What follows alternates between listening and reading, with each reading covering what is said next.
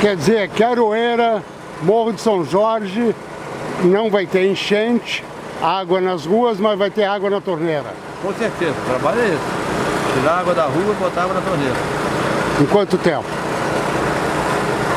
Essa obra aqui deve ficar pronta até março, abril, se Deus quiser, na verdade.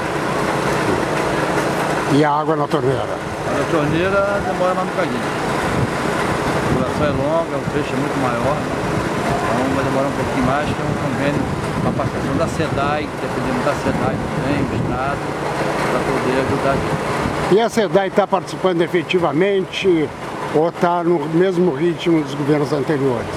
Não, não, a SEDAI está colaborando, a SEDAI, o material é todo da SEDAI, a tubulação é toda da SEDAI, a parte técnica é toda da SEDAI, nós estamos trabalhando com a mão de obra bruta, tem máquina, a vala para poder colocar a tubulação. Ok, obrigado, secretário.